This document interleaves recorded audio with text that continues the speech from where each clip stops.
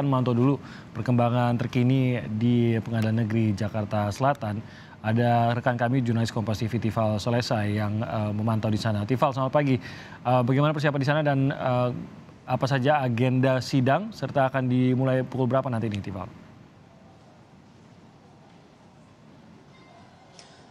Tinggal menunggu kedatangan dari pihak-pihak yang menjalani sidang pada hari ini, baik itu dari jaksa penuntut umum, dari terdakwa bersama dengan penasihat hukumnya, dan juga majelis hakim nanti. Rencananya kalau tidak ada perubahan, uh, sekali lagi kalau kita merujuk dari kebiasaan persidangan di Pengadilan Negeri Jakarta Selatan, paling cepat itu pukul 9.30 waktu Indonesia bagian Barat, sementara jadwal umumnya uh, sidang berlangsung lewat dari pukul 10 waktu Indonesia Barat.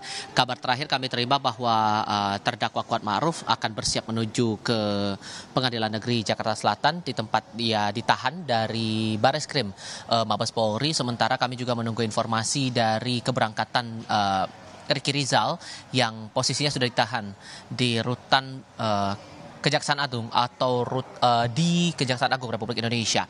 Ini tinggal kita tunggu. Agenda yang sudah bisa dipastikan untuk hari ini di tanggal 9 Januari 2023 adalah pemeriksaan untuk dua terdakwa, yakni Kuat Ma'ruf dan Ricky Rizal. Pertanyaannya siapa yang bakal lebih dulu uh, menjalani sidang pada hari ini?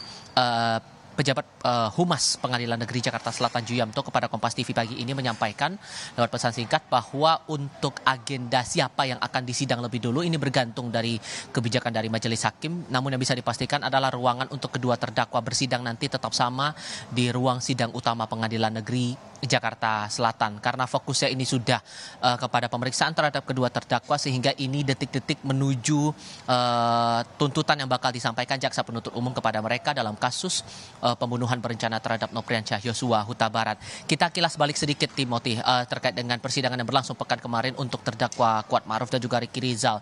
Pada tanggal 2 Januari kita ingat pada saat itu dari pihak Kuat Maruf mendatangkan ahli hukum pidana atas nama Muhammad Arif Setiawan dan Ricky Rizal membawa ahli forensik atas nama Nathanael E. Johannes. Untuk ahli pidana sendiri kita ingat saat itu uh, Muhammad Arif Setiawan sempat menyampaikan soal pasal penyertaan yang dialamatkan kepada terdakwa Kuat Ma'ruf dijerat dengan pasal 55 Kitab Undang-Undang Hukum Pidana juga saat itu disebutkan bahwa untuk pasal penyertaan dalam kasus pembunuhan berencana harus kemudian dibuktikan dulu ada meeting meeting of mind atau tidak. Meeting of mind ini berhubungan dengan penyelarasan kesamaan visi antara pihak-pihak yang terlibat dalam uh, dugaan pembunuhan berencana atau pembunuhan hukum pidana dan Nathanael E. Johannes pada pekan lalu sempat menyampaikan uh, terkait dengan kondisi psikologis Ricky Rizal yang mana profilnya ini berkaitan langsung dengan dengan uh, tindak pidana ataupun juga gambaran kronologi awal sebelum pembunuhan berencana ini dilakukan. Uh, apa yang kemudian bakal digali lagi dari pemeriksaan terdakwa kepada uh, pihak uh, Kuat Ma'ruf dan juga Ricky Rizal, ini yang kita nantikan bersama. Setidak-tidaknya paling cepat pukul 9.30 ini, Timothy.